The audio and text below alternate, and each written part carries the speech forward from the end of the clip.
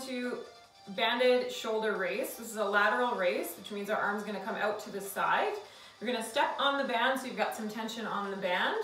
Make sure it's a comfortable enough band so you're not gonna hurt your shoulder. So you don't want it to be super heavy, but you don't want it to be super light either. So somewhere in between, kind of a medium tension. Uh, we wanna come up, back down. Wherever the tension ends, that's where we're gonna come back up again.